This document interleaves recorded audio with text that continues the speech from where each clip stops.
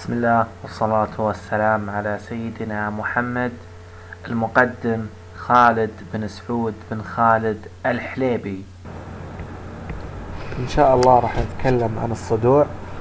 مثل ما تلاحظون في الصورة آه، صدع أرضي يمتد لأكثر من آه، 1300 كيلومتر. هناك شبكة كبيرة من الصدوع تقسم القشرة الأرضية لمجموعة من آه، من الألواح. تشكل صدعا متصلا.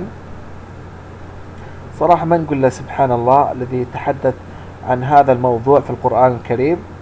يقول تبارك وتعالى في القرآن الكريم والأرض ذات الصدع.